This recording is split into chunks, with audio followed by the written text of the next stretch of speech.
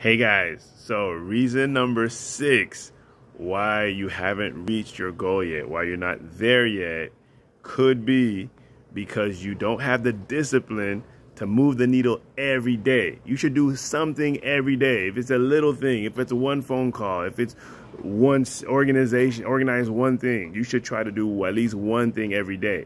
And if you don't have the discipline, that could be what's stopping you. You're not a bad person. You're not inadequate. You're not powerless. You're none of that. You're not unworthy. You're all of that and more. I mean, you're powerful, worthy, adequate, all of that and more. You might just be lacking a little discipline to move the needle. You might not even think that you have to do something every day. And a lot of people, they, they work three days, four days, and think that's normal.